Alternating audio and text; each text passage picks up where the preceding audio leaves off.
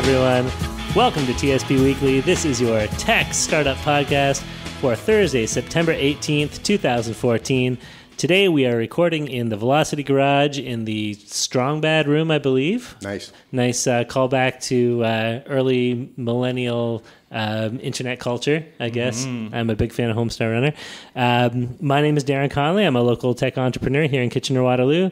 And with me, as always, is my co host, fellow tech entrepreneur Stephen Campbell. How are you today, Stephen? I'm shaken, not stirred today. Uh, we had Is some that, AV is that a James difficulties Bond today. line? I think. I think it yeah. is, yeah. Yeah. We did have some AV difficulties. We uh, the mics got left behind, and Yep.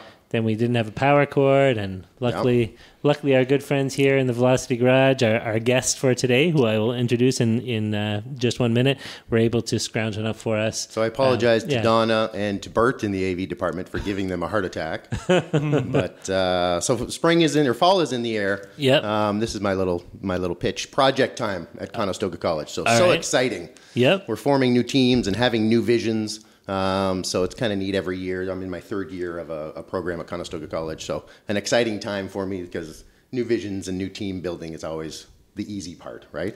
You, you make it sound so glamorous, Stephen. It is.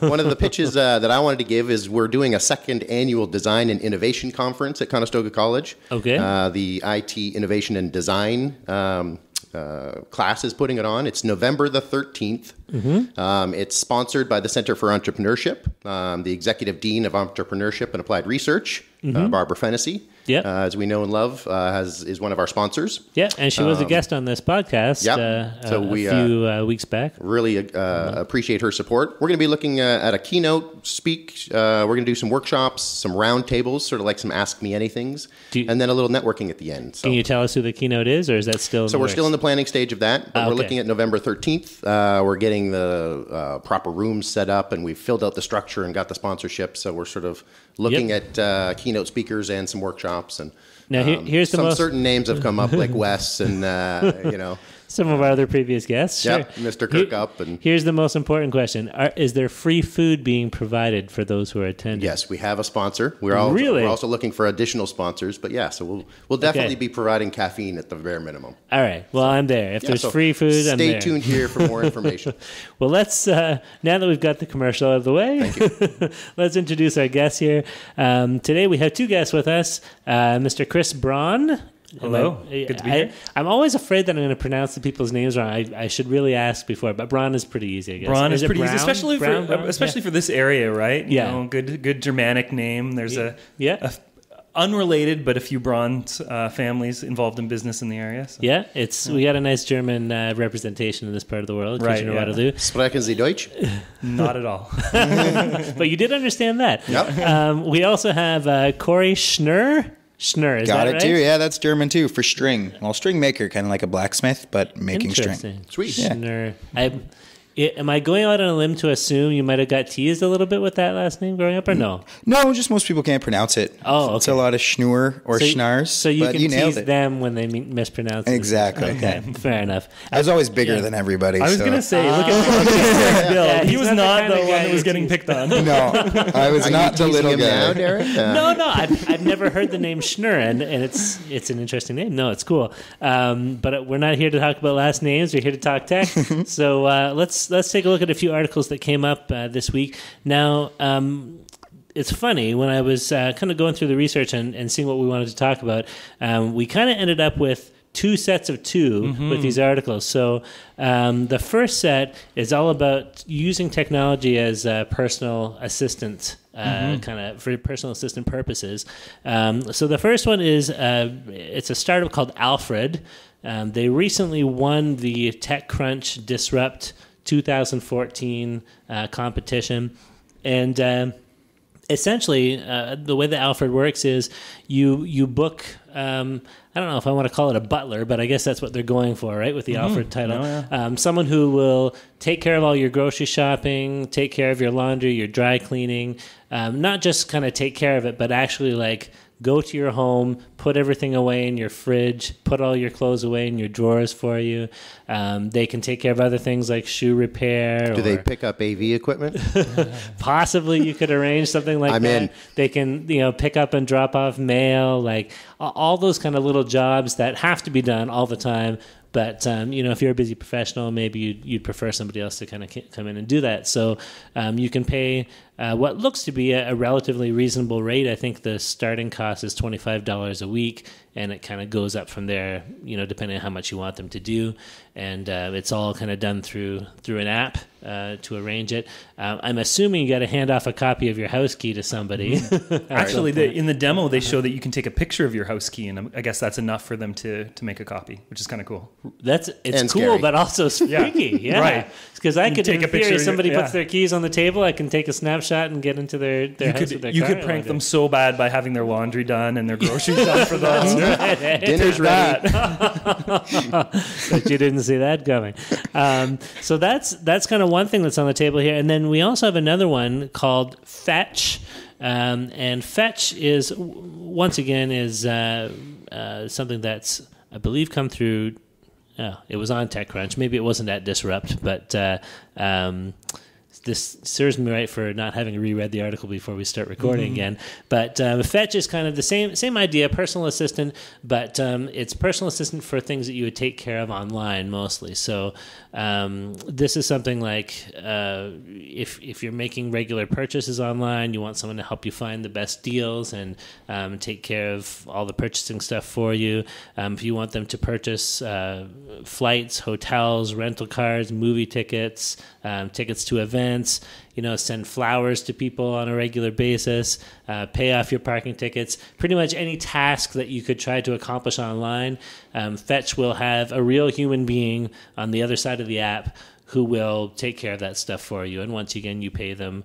Uh, well, actually, I shouldn't say you pay them a fee. The way it's it's being used right now is it's free, and um, and then they take their fees from uh, kind of affiliate um, arrangements with the businesses that. Uh, that they're doing business with on your behalf. So, uh, very interesting kind of business setup. I think at some point in the future they're going to have to incorporate a you know a, a more structured fee structure into, into the way things work, just to keep on top of things. But um, That sounds really smart, though. Whereas Alfred is sort of a personal assistant for everything, Fetch has zeroed in on the money and said, "We're not going to help you with downloads or with uh, checking your calendar or the weather, Mm-hmm. but when you want to buy something, cha-ching, there we'll help you." You know, so Right. that's a really smart idea to.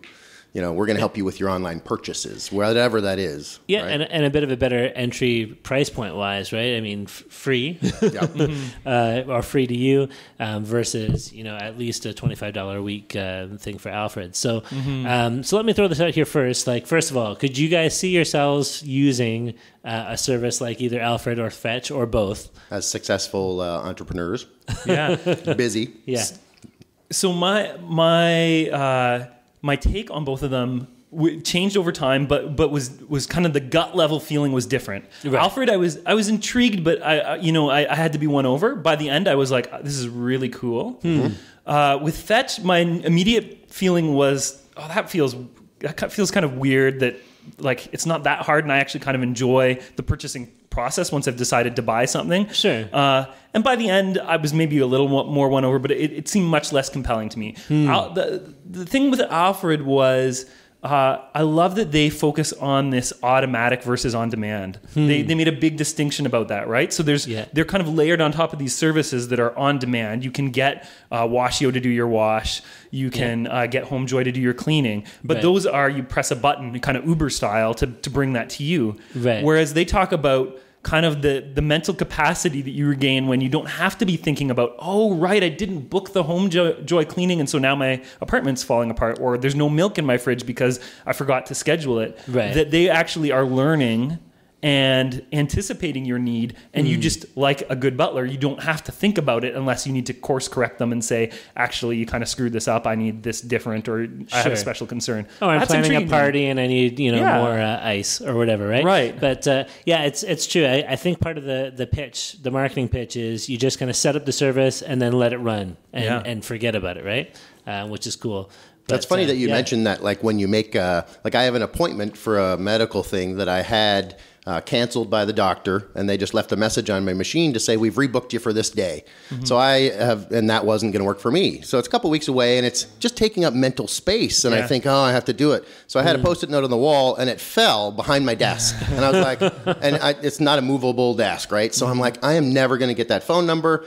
And if I don't write it down right this second, like it's going to be that day, and I'm going to be where you know where are you? So Yeah. uh, I didn't write it down, but then today I had a little bit of mental space, so I actually called, and when I hung up the phone, I had an immediate uh, feeling of satisfaction of not making an appointment for a doctor, but just clearing the mental space again, Absolutely. right? Like it was Yeah. like Right. checking something off. I was like, thank God I remembered that, and I'm so glad it's done, and I've written it down, and it's off my radar now. Yeah. you know? Yeah. Um, so and that a bit of the get it, getting things done philosophy where there's certain things where you just want to get them off your list because they're quick to do and then you don't have to worry about them. Right. Yeah, and I've only true. got a 900 terabyte hard drive up here. so uh, There's not a lot of space. I to pointed spare. at my head. When I, Well, I was actually the other right. way. The other way, I- it's funny because Kris and I talked about it, and we kind of had different opinions. Uh, I think I'm the youngest person in the room here, but Alfred to me, by a matter of weeks, maybe. Yeah, maybe a couple of weeks. But uh, Uh-huh. Alfred to me seemed like a, a real kind of weird invasion of privacy. I don't know if I trust like a third party. Like, what are their, you know, they say, oh, well, we do our own credential checks of everyone. And, and so now you got to say, okay, in my region, is that supported? Does that include a police check? All these things. And Sure. you think I'd be more open to that. But really, I, I barely even like banks when they uh, auto take. Uh, the bills off. I like to pay everything and be in control of that. Yeah. So Alfred kind of threw me off for the sense of like you don't have that control. Whereas Yeah. Fetch was kind of cool because um, you don't you didn't need to plan things, you didn't need to find stuff, but you're like, oh, I love I love that phone, or I really like your laptop. You take a picture of it, and you're like, I want to buy this laptop, and they find what you took a picture of, Right. and Yeah. find you the best price and offer a guarantee that if you can find a lower price, they'll refund the difference. And to me, that seems a lot more geared to I guess my personality of wanting to stay in control of those things. Right. Yep. To think when I was gone all day that there's like someone that I actually haven't met who has a key to my house that's going through Well, my drawers to put you my could clothes meet away. them. It's just not Yeah. comfortable for me. You could stay home and meet them at some point. Sure you could. at- Yeah, at yeah. First, at least. But I Mm-hmm. But know now what you you're mean. like, I absolutely. met the guy once, and he's still going through my underwear drawer. you know that's great. You know when um, uh, my wife and I lived overseas for about five years, uh, we were in the Middle East and we were making big money, and we we could afford to hire somebody to come and do our cleaning. Which, incidentally. I think might have saved our marriage because I think ninety percent of the fights we had were about like whose turn it was to clean the bathroom or whatever. Yeah, you weren't folding the towels the right way.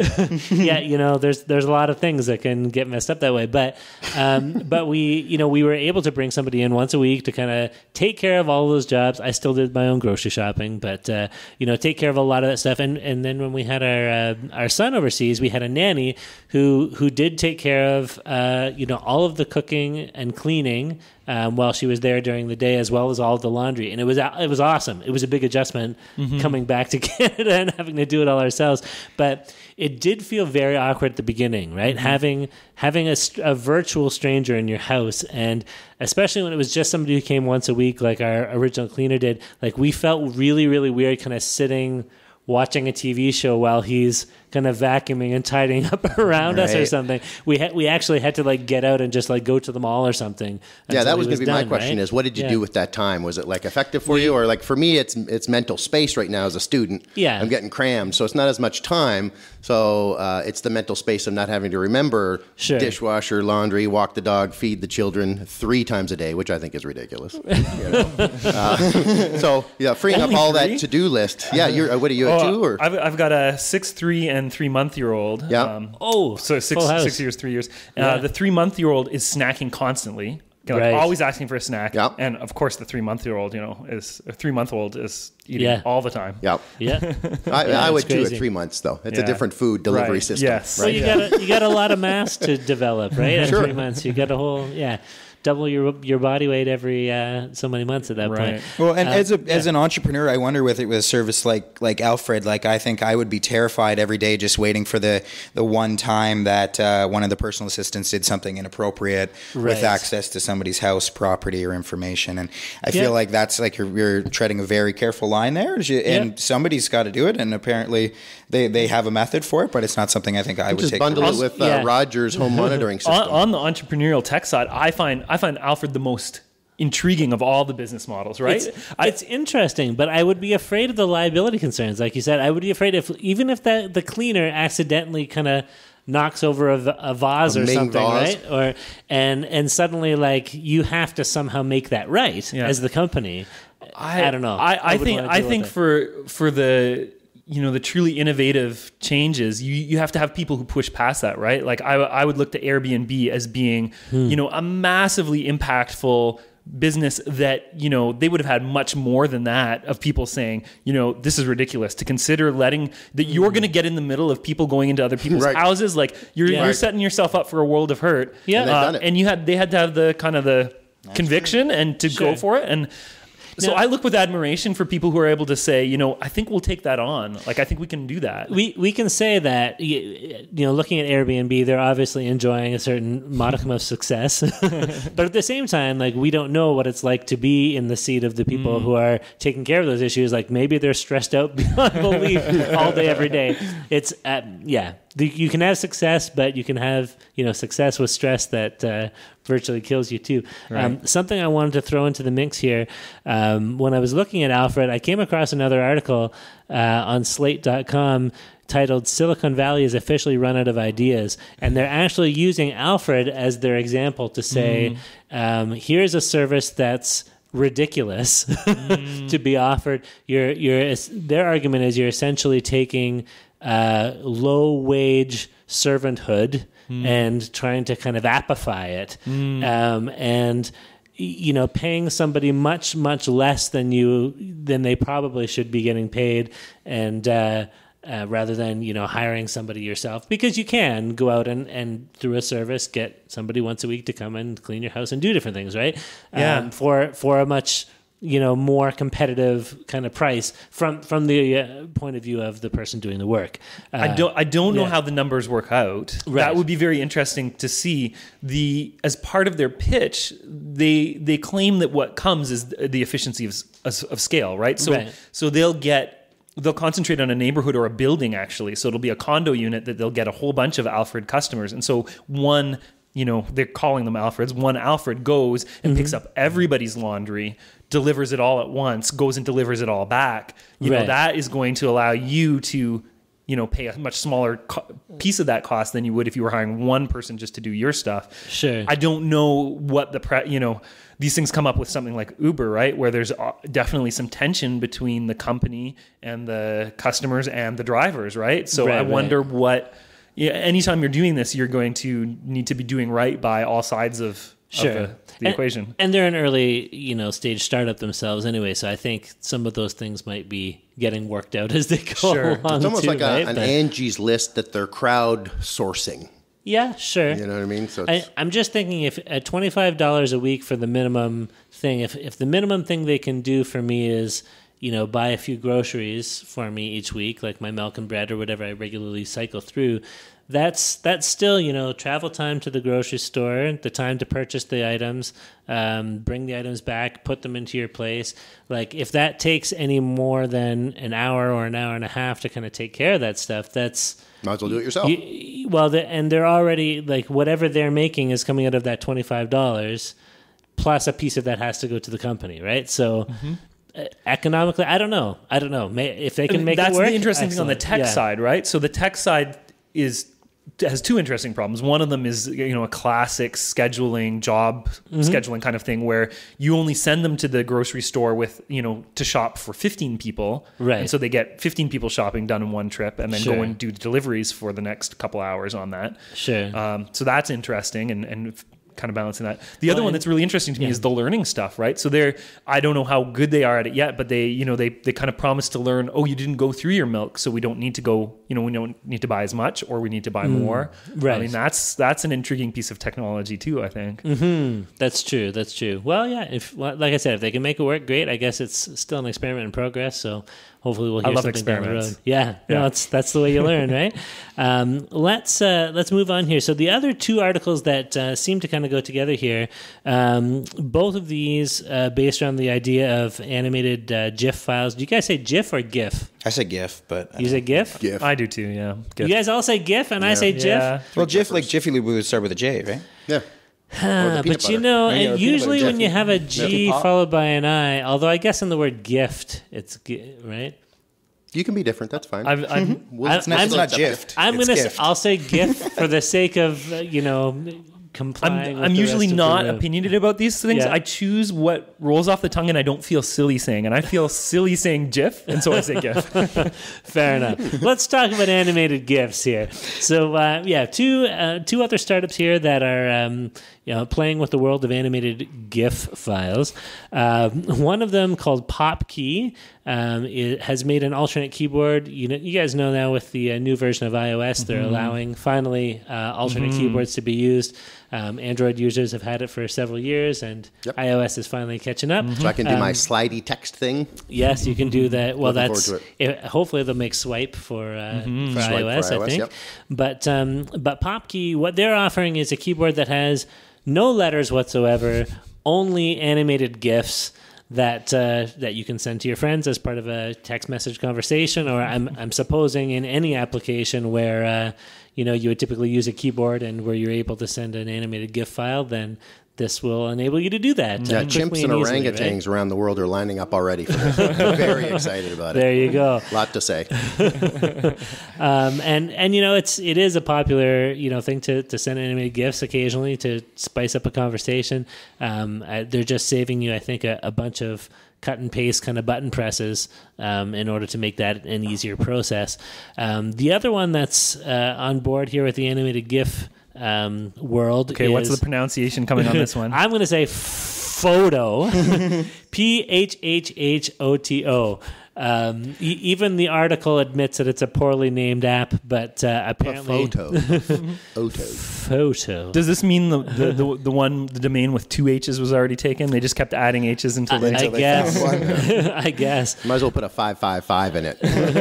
Hollywood They- phone number. May- Maybe they should have added more O's instead of H's, right? Photo. I don't know. I don't know. Yeah, it's, it's, better than annoying the for sure. Yeah, uh, one way or the other. Uh, photo um, is is essentially a, quick and easy way to take uh, to create animated GIF files of your own. Um, I think it just snaps four quick pictures in succession and animates them. And uh, and now you can you know post them or send them to friends or whatever you want to do Post with a them. Vine or something like that. That's right. Um, kind of like a very po- poor man's Vine, I suppose. Instead of six seconds of video, you're getting four frames, and that's it. Put into a GIF file. Might be like Twitter. That's all you need. it might We be. We never actually. knew. That's true. um, uh, apparently, uh, they've been getting. Um, it, it looks like at least two hundred thousand people um, are already using photo uh, for for creating and sending uh, animated gifs. So they seem to be gaining some some good traction. Um, so I don't know. First of all, I've I myself have never sent an animated gift, a GIF. Sorry, as as part of a conversation. Not that I, you know, a, I guess I just don't figure. I, I don't feel like figuring out how to. I, I know it can't be that hard, but uh, but b. Um, I, I've never really felt the need to, but I don't know. Do you guys? Is this part of your regular kind of mobile communication repertoire? It's not. It's No. not for me either. Uh, yeah, Can't say I- that I I've ever sent one or had the desire to to send a GIF either. Well, you guys are really missing out because I, I used one just yesterday in Really? my uh, pitch for a teammate, and it was a Chewbacca GIF, and he was putting his hands back over his head and relaxing. Oh yes, One I of my remember that from uh, the movie. we're gonna we're gonna work smarter and not harder. So uh, that was our team, and, And s- uh, so I used the Chewbacca GIF. Everybody So, should so tell it. me how you how did you go about making? It was just in a? PowerPoint presentation, so it was. just Oh, you used it in uh, a PowerPoint. yeah, you didn't so it send wasn't, it through uh, your phone. text-wise, no. So, uh, have you ever sent a, an animated gift as part a GIF? Sorry, Um, gift. The only ones are of the more the emoticons. I've never Okay. done an animated GIF through the phone, although Facebook now has the Messenger, Facebook Messenger, so I might have really. If I look closely, I probably have sent. Yeah. Um, because with the the young guys and girls. Um, you can a picture's worth a thousand words. That's so what they say. four frames is like four thousand words. so that's In it's theory, very sure. effective. Yeah. So sometimes, yeah, somebody will post something, especially on Facebook. I'm doing it a lot now on Facebook. Yeah. Somebody will post a thing and they'll say blah blah blah blah blah, and then I'll just, you know, a up GIF a picture. can say what my opinion is without, Sure. you know, and it says it in a funny way, which I'm a big fan of. Well, here, here's what I'm wondering: Is this a generational thing? I mean, most Mm. of us here are not you know young young young guys. Mm-hmm. Well, I don't know. I, I shouldn't speak for you guys. you guys look I'm younger not. than me. Yeah, but you have three kids, so Yes. you know. I got no kids. I'm, life. I'm okay. 25. So You're 25. So but it, for still, me, for me, I, I feel like it's more of a kind of like the emoticons. I think you hit it on the head with that. It seems more like a fad in in that sort of way. Right. Um, will it replace traditional keyboards? I'm, I'm guessing no. Right. Um, but I mean, for that that target audience that they're working with, they're Mm-hmm. they're heavy smartphone users, heavy app users, and I'm sure it'll be successful. What I really liked about Photo Uh-huh. was the fact that they actually started with uh, this Photo Pro thing, and it was a physical piece of hardware. And, and I really like when when uh, the apps come in, the, in the, with the hardware support. Right. And so what they would do is actually rent out this unit, which was the Photo Pro, It's like a at photo special booth. events. Yeah. Exactly, and it Yeah. would take it and share it instantly up on uh, basically like the big screen and show everybody that, that they were doing is like a red carpet way to. Uh, to Yeah. promote what was going on there, and and there's there's even another startup over on the other side here called uh, Event Peaks that highlights all the different parts of an event and aggregates it all into one thing. So you get to see the vines Oh. and the photos. I've and- seen that. I think they use them sometimes. Communitech they do. when they're Communitech uses conferences, them. right? Yeah. So I mean, something like this would be perfect to to add on to that, and and I I think for me the experience would be more linked to an event than Right. linked to a, a messenger conversation. But Right. I mean, they, they're clearly popular. Sure. Very cool. You know, I could see making use of something like um, like PopKey. Uh, Now I don't have an iOS phone, but if I did, if if I could use my traditional keyboard for sending the messages, and then you know just swipe, say a single swipe over to bring up that other keyboard Right. to access my animated gifs, and Yeah. then swipe back to the key. Like I know on my Android phone, if I want to switch between keyboards, it does take a few other steps. I got to pull down from the menu. I got to select alternate keyboards. I got to pick the keyboard I want, hit OK, go back to my conversation. It seemed like it was even more cumbersome on iOS. Like the Yeah. to get to the keyboard selection was was involved, and uh, and that Right. that it wasn't even just pressing the key. You you kind of pressed the the key which copied it to the clipboard, and, and then you had to paste, to paste it, and, manually. Yeah, you know, right. I, I, just platform limitations that you usually have with iOS, but Right. it it seems like they can't get all the way there. To I just really want to, you know, Yeah. put put uh, swipe put over a picture to my of Chewbacca and in, in the stream. yeah. yeah. and and maybe that's why emoticons seem to be in in more regular use because they're already kind of integrated into what we're already using for typing for the most part, right? I can I know I, I can just do a press and hold on one of my keys to bring up my emoticons uh, when I'm typing a message and. And it's easy. It's two button presses, and Yeah, it's like a You should be able to hold your space bar and get your different keyboard options up. Too. I maybe I'm using like a version of swipe that uh, it's it's one of the other keys. But yes, Oh, there's, okay, right, there right. there are a few options to uh, to access them, but it's fast and it's easy. I don't Yeah. have to hunt through menu systems and change to other keyboards, right? And I don't know if I want to have an entire conversation in animated gifs. I, I think I just want to kind of sprinkle an existing conversation with them here and there, right? So and it's not creative. It's like a it's a populated list. So here's Right. ten more emotions you can convey, and then the world of gifts is sort of opening that up to well, here's ten thousand that the internet has done. Mm-hmm. You know, put pictures and words together or whatever it is. So Sure. um, and now you can create your own. So. Um, I can see there is a need for it because instead of having just the smiley face with the sunglasses, now I want to have the smiley face with the Prada sun or whatever I've made, right? So Right, yeah. um, I think the internet is huge on self-expression. That's why Facebook is blowing up. So if you can do your own little smiley face with a Clearwater Beach, because I went there last weekend, and a, a cer- you know, or whatever it is, like so you can personalize it. I think that'll be big. So they're going to have to figure that out. I think. yeah, as fun fun as it is for us to to do our takes on these for whether we would use them personally, I, I found like when doing startup analysis, where I'm always wrong about what's going to be. you know, the, the market speaks differently, Right. Uh, and so to me, it's interesting that. Um, now I don't know what how PopKey is doing so far, but Photo, you know, seems to have validated in a few ways. You had people who were Yeah. willing to pay a lot of money for a physical d- thing for it. Yep. They kind of validated that, and then went to an app, and that seems to get a validation of usage. Yeah. and there, there's two pieces to it, right? Is it something that people will use and meets a need? And is there a way to capture some of the value of that, right? So some get the get the usage but fail to capture anything from it. What's what's interesting? I don't I don't know if the Photo revealed how they would do it. Um, PopKey, it is there's there's potential there. They're they're talking about this kind of marketplace where maybe you pay ten cents to get this thing that you want to put into your conversation, and I could see Right. that you know at Or- the right or- pri- price point, you're like, oh, I really want to just put. or you in. buy a set, right? Here's Or- here's yeah. ten or fifteen more animated gifs that uh, you can insert into conversation. I wonder if they'll be licensing things for that. But in any case, it don't know. seems like there's there's there's pe- potentially a capturing piece there. There's definitely a validation piece on the other one. Right. You need to see both together before you know Well, whether it's going to last. You know, what? this was my point. I think the ideal app would be something where I could t- I could create my own gifs and then have them imported right there. So when I'm having Mm. my conversations, boop boop boop, I don't have to switch between apps. I don't have to switch between keyboards. Um, it's it's just another screen on my uh, keyboard, right? Um, so here's here our typical disclaimer: if anybody comes up with that and makes it work, I want my twenty percent equity in the app. And I'll, uh, I'll Yeah. just let you borrow the Chewbacca costume. I Yeah. won't rent it to you. Okay, when perfect, you're ready to make those gifts. Excellent. Sounds great. Um, all right. So animated gifs. Uh, yeah, maybe one day we'll find ourselves trying them out, but for the for the most part, not, not Messages quite from the grandkids. Yes, there we Yeah, go. right. There we go. An Um, animated podcast. incidentally, it's interesting that like back in the early, early, early days of the internet, it was all kind of there was JPEG and there was GIF, and the animated GIFs were like that really crappy kind of clip arty animation Mm-hmm. that you'd find on someone's MySpace page or, or something, right? of and turtles. and now it's it's kind of come full circle, and uh, you know people are making whole apps based around them. It's I find it really interesting. It's awesome. Yeah. Um, all right. Well, let's uh, let's move on from the world of uh, tech articles and talk to the people we have in front of us here. Um, Kris Braun and Cory Schnurr. You guys are both uh, with Happenate. Now, I've I've read a little bit about what you guys do. I visited your website. Um, it looked very cool, but uh, I think it would be best if maybe if we let you guys tell us uh, what Happenate is all about. Absolutely. So we provide uh, team experiences and team rewards for workplace teams, ways to fuel uh, the culture on a team.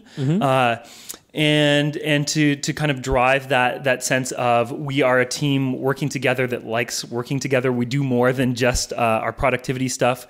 Um, it, it it's really came out of uh, for me out of an experience of working in a number of different uh, cultures corporately and and being a team leader and realizing that a few things that I had taken for granted early in my career by being part of these amazing team cultures aren't Yep. present everywhere and that especially as uh, some of the pressures of an organization come to bear and you get larger organizations you end up with a manager who you know everyone's looking to to set the culture for the team to make things happen to, to create the awesome place to work for. Right. and everything about your job makes it really hard for you to take that role. Um, you're just it's not what anybody is asking you to do except for when someone leaves the team uh, except for when morale's low you know you'll get asked about it. But it's not like you're getting a part of your day carved out to spend talking about or thinking about how am I going to drive uh, great, fantastic team culture. And Right. so um, started most, uh, experimenting, you know, Yeah. uh, with the team, but thought I, I could be much better supported. There could be better tools to let me do my my role that I'm hired for, as well as allowing the team to to build its own culture and, and drive um, the kinds of things they're doing. So really, practically, we do that through uh, helping the team choose team experiences together and Sure. do them. So that's everything from bringing something into the office, might Hmm. be uh, you know getting Block Three Brewing and Elmira to come in with a keg and have something on a Friday afternoon, Sure. or um, you know having a whole lot of uh, or having gelato in the office or something like that, Mm-hmm. to going out to do something, a cooking class, rock climbing, paintball, um, Mm-hmm. something like that outside of the office. So, so walk me through a scenario then. If I'm, you know, Joe, uh, team member, um, not necessarily the manager. I'm, I'm just an employee. I'm working with a group of four or five other developers, maybe. Mm-hmm. Yeah. Um, I, I come into work. I sit down at my computer. Yeah. Uh, how how do you get me more engaged with the rest of my team? Yeah. So you you get you get a, a wonderful email saying you're you know whether it uses this language or not, your employer loves you. They've given Uh-huh. your team some points and they want you to go out and do something fantastic together. You know, come in, come in and tell us what you'd like to see. And then Pinterest style, you're seeing all these different experiences, things that you could do, and you're just saying, plus me, I'd, I'd do that. Oh, rock climbing. Oh, wow, that's really unique. I would do that. Okay. You simply do that. So there's a large list of potential activities or events, and I can click on the ones that I like, Yep. and and We, And they we have a little yeah, plus go ahead. plus me button. So Facebook's Okay. got the like, there's the tweet and the retweet. Yeah. Ours is plus me. It's like it's it's the simple voting up method, right? Vote Okay. up, vote down. Mm-hmm. So you're crowdsourcing the ideas of what you want to do. Sure. One of the things I like to explain to people is basically you turn your whole company or your whole team into a social committee. So you don't need a couple of people making the decisions on okay, well, it'd be fun for the group to do. Yeah. You, you bring it out to the whole team and say, look, here's here's some options. Here's our budget. Let's Mm-hmm. go ahead and let's let's pick what we want to do as a group. And then that way you get that cohesion, and even the people who uh, voted and their choice wasn't picked are still a lot happier with the choice because they were part of the decision process. Sure. Now, the choices that are presented then are these kind of um, pre-made packages, or, or are these uh, you know preset arrangements with certain businesses that are local that they can buy into, or are they, is it just like a list of events and then they have to work that out afterwards, or how does that work? Yeah, so we've got a marketplace that includes uh, specific experiences from vendors that are going to use points that, that the, the company has bought to use them or Okay. to, to book them, uh, as well as do it yourself activities, which are kind of guides, how to's, where you, uh, Like you know, go on a hike those. or Totally, have or a you know, doing or office don't know. place Olympics or something like that, right? Okay. Where I, I always kind of Yeah. explain that part like like uh, like going on a date. Like you could go on a nice expensive date to a fancy restaurant, or you could go for a walk on the beach. Both Right. really great experiences. One costs, one doesn't, and you have to be able to do both and blend that to get mm. that ongoing relationship building, right? Sure. And it's the same sort of thing in the workplace. So not every time do you have to spend a whole bunch of money and take the team out to something really rich. You can do some of the DIY activities and sort of crowdsource that that fun social atmosphere within the organization and not pay a whole bunch more every time you want to do something. Sure, and So- it could it could be that the team members want to do the cheap stuff anyway, right? Mm-hmm. Yeah. so why mm-hmm. why do something expensive and force it on them if that's not what they want to do? Mm-hmm. Sorry, I'm a, Stephen. I'm a huge fan of the team building, and like I said at the beginning, it's awesome time right now because we've just formed new teams and it's new idea generation and stuff like that. But what what do you guys do? Um, because I understand what you're saying, but on the deeper level, like other than us just going out and hanging out together outside of the office. Um, are you guys giving any directions sociology wise, psychology wise? Are we uh, trading up leaders? Are we expanding our boundaries? Are we doing trust exercises? Or are we, you know, is there any focus to these paintballing uh, or um, excursions? Or, or throw people together and let them make the, the magic happen. yeah, is It it, is a- it putting is a, a team bit- together, it- get them over the wall It kind is of a bit more of the latter. Uh, Yeah. We we want to have a light hand on um, on what this feels like. There are so many things inside the organization that are very directed to this is professional development for this, Right. And that's that's kind of where we draw the line on experiences. We're not about professional development. We are about the culture building, the getting to know your teammates as as other human beings that you get to relate to.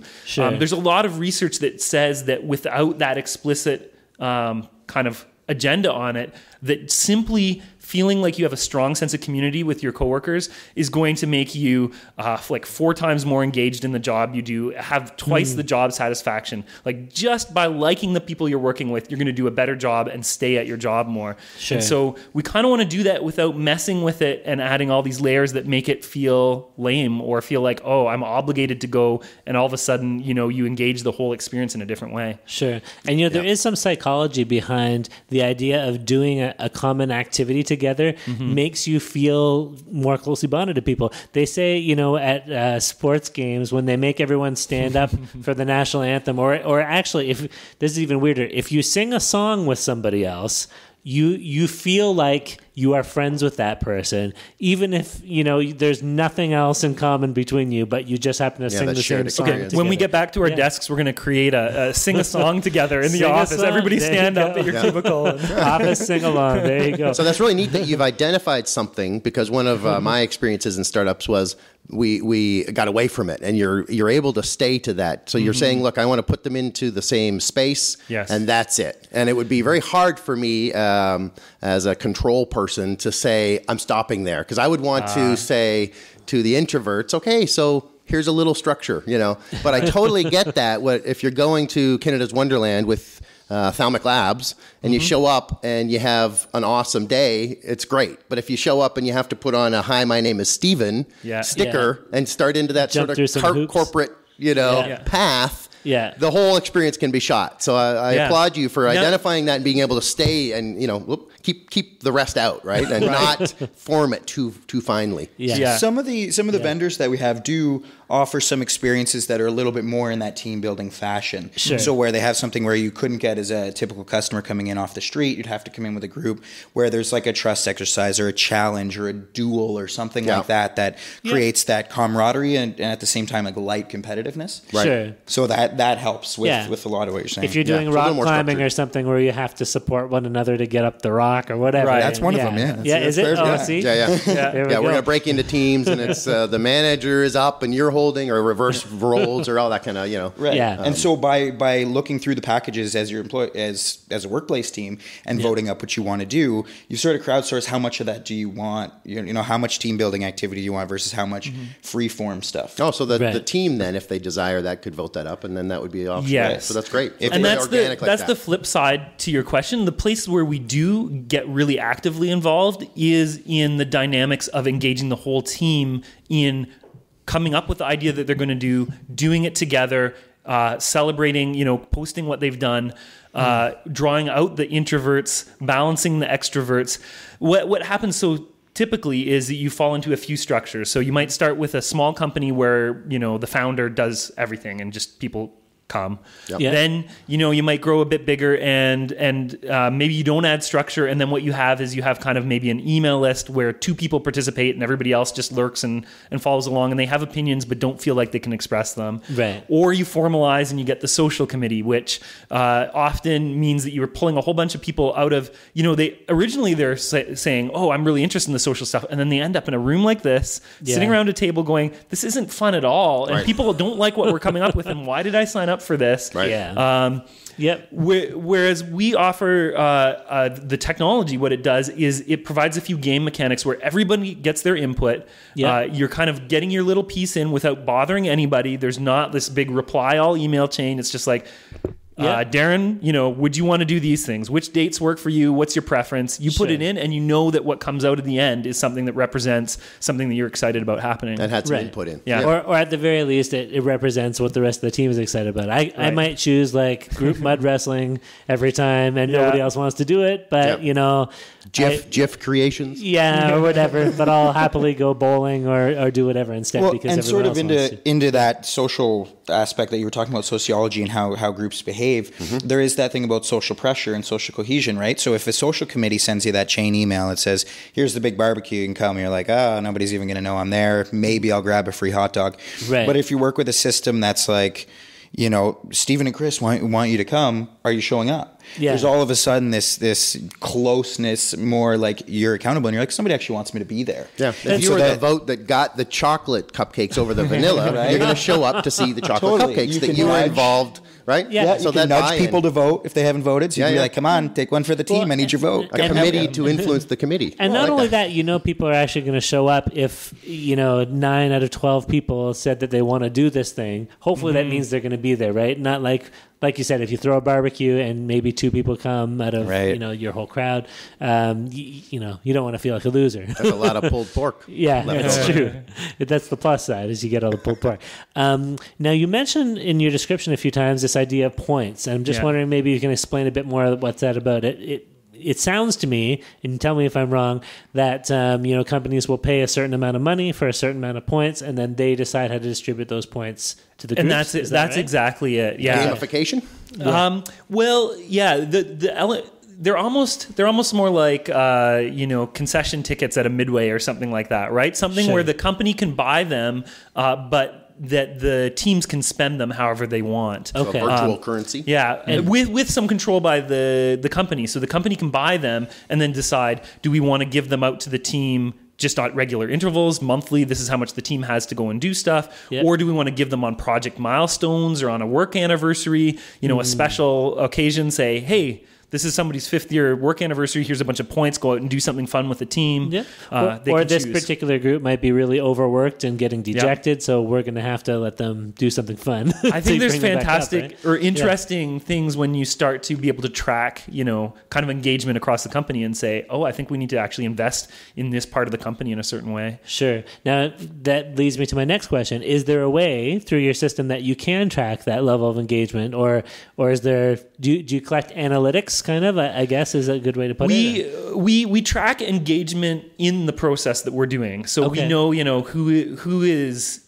uh, viewing uh, participating what ways are they participating what parts get them more or less excited what's what's the response after an activity we're Sure. doing that much um, uh, you know, another great company in town, Plasticity, is doing more measurement of kind of ongoing engagement and how Mm. our employees doing with the the kind of their whole uh, Experience, Yeah. as an individual. Right. And so those would it would be really interesting to correlate the two. You know, how are people tracking as a team and how the team's functioning together with with how is an individual doing? Uh, Hmm. Yeah. yeah. We're hoping to talk to it's uh, Jim and Jim Jennifer Jen, yeah. Moss from uh, De- definitely talk right? to them. They're fantastic Um, people. I, I know them. I just haven't got around to asking them Sure. to be on the podcast, but we will uh, get them on at some point. But yeah, you never know. Maybe uh, maybe at some point you guys can do some collaboration because you kind of have both sides of the engagement uh, puzzle, I guess, um, that you're able We're to definitely address, right? continuing to talk with them because Yeah. yeah. we like what they're doing. Very cool. Now, um, getting into not so much how Happenate works, but Mm-hmm. uh, where it came from and how it got started.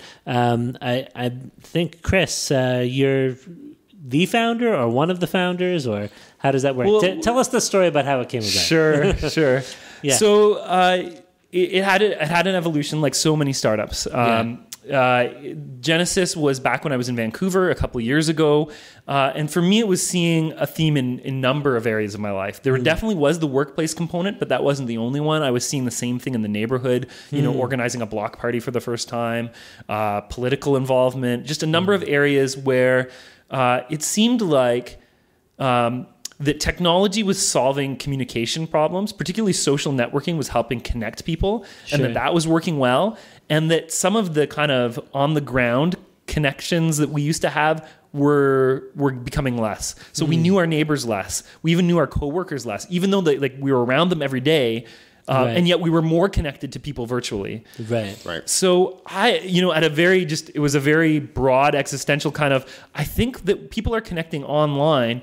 I wonder if there's a way to use that to lead to more action. Because what I saw in all that connective, uh, connective social networking mm-hmm. was that it was mostly talk. It was mostly mm-hmm. geared towards because the the technology had been designed for increasing page views, getting people to be kind of captive on the Facebook page and keep clicking for half an hour. They really only cared that you were going to be communicating a lot and digesting a lot, but they mm. didn't really care whether there was an outcome to it. Right. So, uh, uh, really, at the early stage, it was like, can we connect people online and get them to take collective action together? Can they come to consensus and mm. decide that? Um, and that part is still true. Uh, really, the part that has evolved over time has been which. Uh, which demographic is going to benefit from this the most? Sure. uh, where is it going to catch? And uh, we spent some time doing a bunch of pilots and experiments in the consumer space. Um, it was a lot of fun. I kind of I love that space, but it's much more disparate. It's it's a lot harder to kind of um, reach those customers and get you know everyone on board on one platform and to uh, you know adopt it against other tools. Sure. It's funny because that's where everybody starts, right? Like It you, is. You always It's think I want to me." use it, and Totally. everybody. and uh, we talk to so many startups, and they always go back to enterprise and back to business and back to you know away from the Or customer, they the often- consumer. yeah, or they, they often, often do, yeah, they yes. often. They often Um, do. yeah. And So I. I, to be honest, I resisted it for a time until the you know the dots got connected in my own mind, especially around my experience, and I kind of Right. reflected on actually, you know what, communities do all right. You know, there are ways that they could do better, but they're doing all right.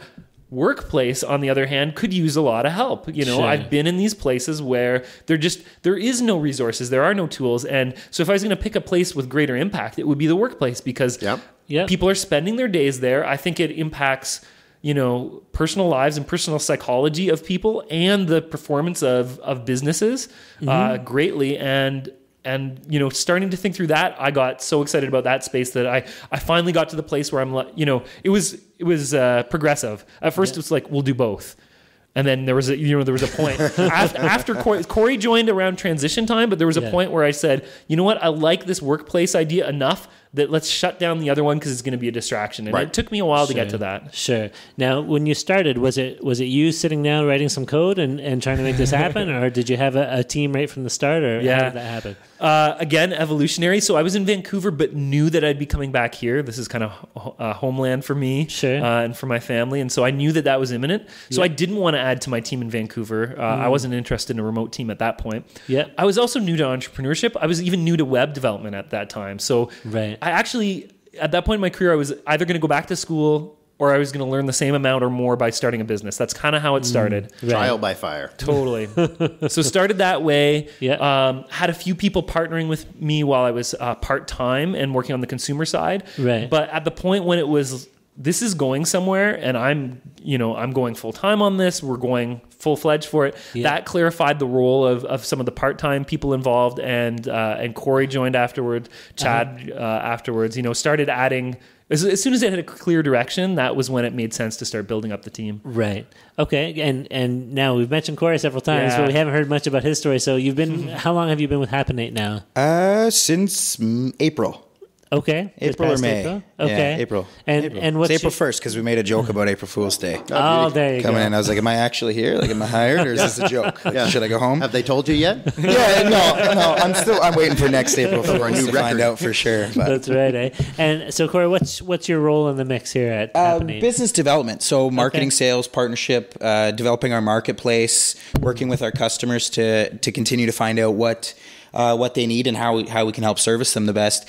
Um, These are the geniuses behind the code and the software. I can't do Oh. any of that, so I I stick to what I'm good at. Sure. Um, and and I focus on that. And uh, I'm actually a Conestoga grad as well, so good Oh, to see there go. good to see some alumni. The Yeah. condors. Yeah, and that what- there's less of us in this bird is? space than you think. Yeah? So Yeah. Conestoga needs to to stay hard and, and get into this uh, into this tech space because it's very innovative and it's moving really fast. And so I've always been told the hard man is good to find. when you say you're listen to this guy when you say you're dealing with uh, a lot of customers th- are you dealing with the corporate customers or are you dealing with i guess that's what it is right Yeah. Uh, but there's also the vendors and stuff as well are you part of those relationships also The whole- absolutely. the whole, nine yards Yeah, at this point, Okay. yeah. wow So Cory and I are working together on the on the customer stuff. Cory's Okay. been doing fantastic work there, but the Chris market sort of leads everything. the, but the marketplace has really like if you go to Happenate, you look at the activities, everything that's up there is a conversation that, that Cory has had, been out there with the Hmm. Local vendors, you know, helped explain this new concept to them, get them excited about us sending them workplace teams. Wow. Uh, it's yeah, it's a real clear indication of what he's accomplished by just seeing the great kind of activities that are up there that have all been him. awesome that's great and now how big is the total team besides you two is There's it more. three there's three of us full time. one other person wow Yeah. you guys seem like you're you're managing a whole lot with just three people but uh, that's awesome right We're we're uh, that's part of the startup challenge. Yeah. that's Yeah. actually I think the fun part is Sure. being able to wear many hats. Jack of all Yeah. trades. Yeah, I think that that's what appealed to me the most. I mean, I met Kris at a. I had known a few other startups here, and and I have actually another business, a brick and mortar style one that I, I'm a part owner in.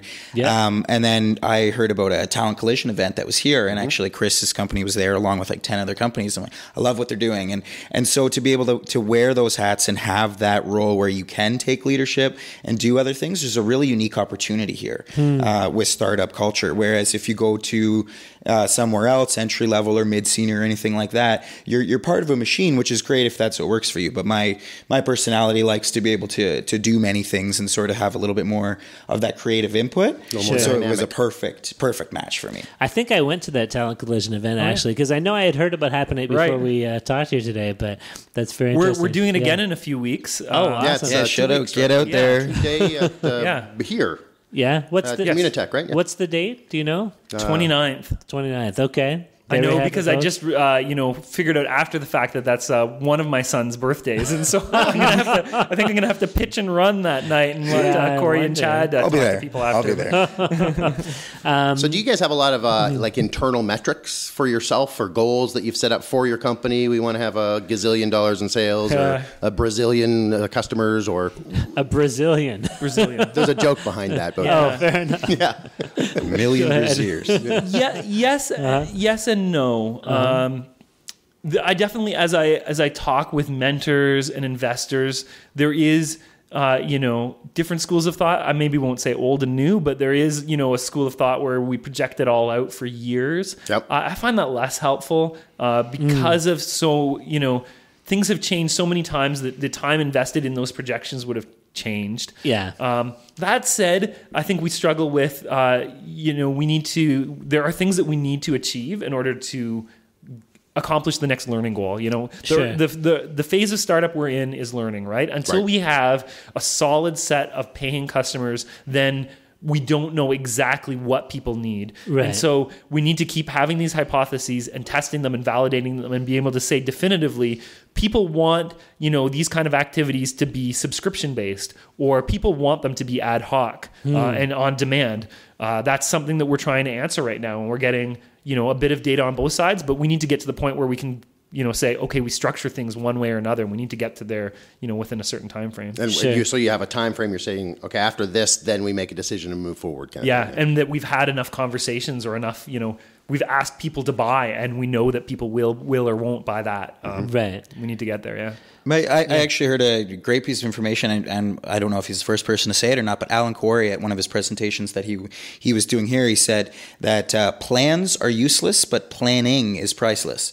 Right. And so, in that same sort of way, I, I really like to think by that school of thought. I mean, if you project a year out in startup culture in three months, you're totally like you're just in a different direction. That it's useless. It's not that you're not reaching them. Right. It's just Yeah. that they're not even relevant Right, but anymore. you have to go Yeah. Through the exercise of looking that far in advance, Right. or else you're just going to get slaughtered Right. because you don't know what's coming around the corner and you Yeah. haven't Yeah. had any forethought. So you plan direction, you plan steps and where you're going to go next. Yeah. Uh, to have concrete like objectives that we meet or not meet this is Yeah. often irrelevant. That's Okay. right. But Yeah, ge- that's but generating imagining numbers for two or three years down the road is is not helpful for anybody. Unless you're At going some to a stage bank. it will be. maybe Yeah. But not maybe if you want to yet. impress investors with yeah, if with you're big looking for investment numbers, money, yeah. you probably have to do a yeah, fair something enough. like that. But yeah, that's interesting. Yeah. Um, so uh, the last kind of thing I want to ask about, I guess, is um, you know you you have these. Uh, what, what's the word for them? Retail partners or p- providers? Experienced vendors. Yes, experienced vendors. Yep. There we go.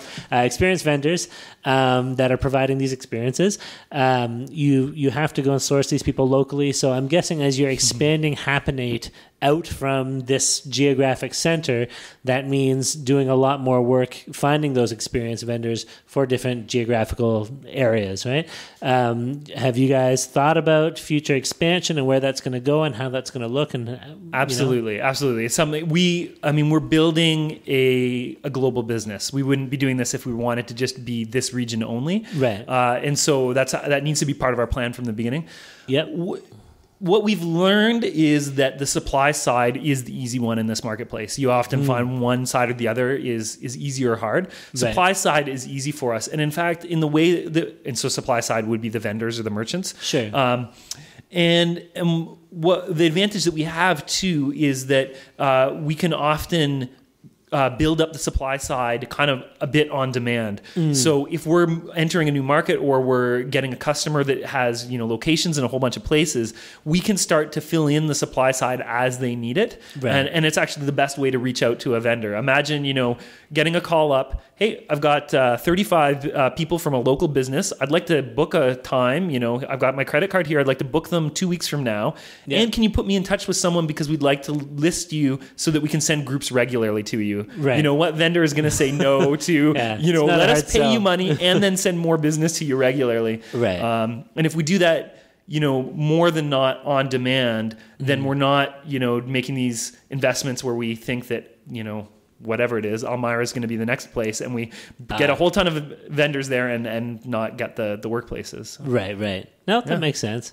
But uh, well, it's good to know that there's a vision for uh, for moving out into the future because I, you know, I think it sounds like a really really cool, not just a cool business, but a cool thing to participate in. You know, as a a- you know as a as a team member at a workplace, I think it's great. Um, so to think that you know Toronto or Hamilton might be missing out because they're not quite on the map yet. yeah, or know. can you can you call Walmart? They might need a little, little help. Right. There's some big U.S. markets, right? Yes. So. there Yes, are some sure. people there too. Um, very cool. Um, before we wrap up, uh, wrap up here, guys, if our listeners want to go and, and kind of see what you guys are all about or track you uh, as you're you know moving forward here, um, I'm guessing you know you, I know you have a website. Is there a Twitter account or a Facebook page or whatever? Where, where can we find you online? All, all of those things are at Happenate, so H A P P E N A T E, uh, happenate.com. We've got uh, Twitter handle Happenate. Uh, there's ways to contact us on the website. You can kind of start to look at some of the activities uh, that are available, and uh, we'd love to chat with anyone on any side of the equation, whether you're a provider of these kind of activities or uh, a business that would like to, to reward your teams with these kinds of things. Awesome. And if if you're not local to Kitchener Waterloo, um, are you you're Start- still open to have that conversation? Yeah? Absolutely. Start telling us. I mean, we we ha, you know we're starting to add you know the notches of you know where sh- where should we go next, and if you want to influence that decision, uh, we're happy to have that Awesome. Yeah. Awesome. Exciting time. Good to know. Um, well, listen, uh, thank you so much, guys, for uh, joining us here today. Um, Thanks for it was- having us. Yeah, awesome to have you on board, despite our initial uh, technical difficulties in Yep. getting things set up. Um, yeah, and thank you to our listeners once again, guys. Thanks for joining us on another episode of TSP Weekly. Um, we also want to thank the Velocity Garage for uh, letting us record in the Strong Bad room here today. Um, yeah, Good Jorb. there's a little Coach Z for you guys who follow Homestar Runner. And uh, we want to remind you, our listeners, please feel free to send us your comments, questions, criticisms, or feedback. You can reach us via email at feedback at tspweekly.com or feel free just to drop a comment on this uh, at the post for this episode on our website at tspweekly.com. Um, so, from myself, Darren Conley, my co host Stephen Campbell, and from our guests, Kris Braun and Cory Schnurr at Oh, I said Schnur. That's okay. Schnur That's it. Start at, uh, over. Happenate. Thanks, guys, for joining us today, and we'll see you all again next week. Cheers. Thanks. Bye bye.